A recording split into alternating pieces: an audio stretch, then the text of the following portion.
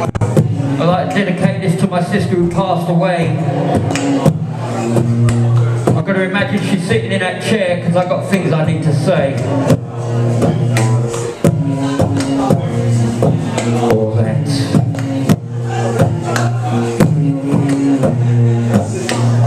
You did what you said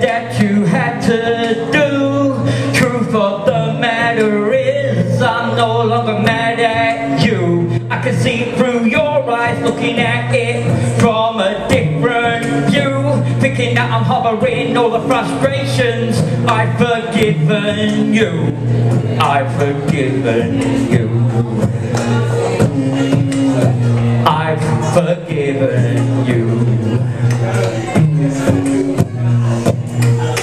I was selfish, thinking about myself, not realizing you was trying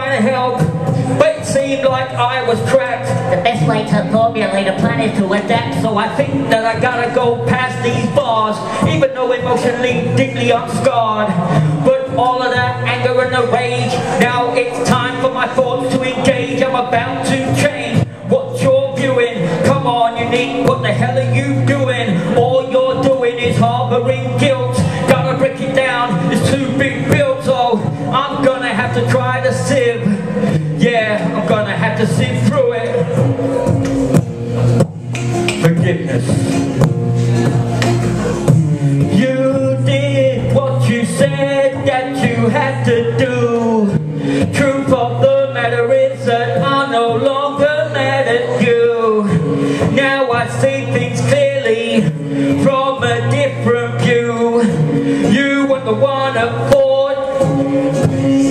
I've forgiven you. I've forgiven you. I've forgiven you. I've forgiven you. It's supposed to be business as usual, but I can't even attend my sister's funeral. They said I never understood. That keeping me in the darkness, how is that supposed to make me feel good? It made me go right off the rails. This is the grievance process of what it entails. What you gotta do is try to take your time. The solution you'd have a peace of mind, but it feels like Something inside me's missing. If you were sitting there, I would hope you would listen. Now I see it from your point of view. I ain't mad at you. You did what you had to do. Even though I may accuse you at the time. But now I got peace of mind.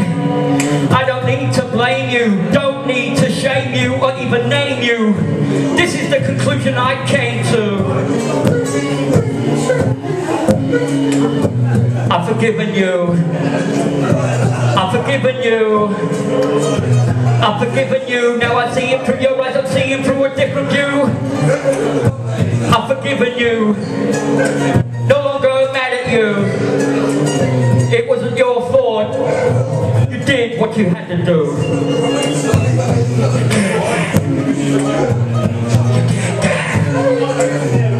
You did that. You did what you had to do. You did what you had to do. Hope you can rest in peace now, knowing I'm no longer mad at you. Thank you. Thank you, Brandon.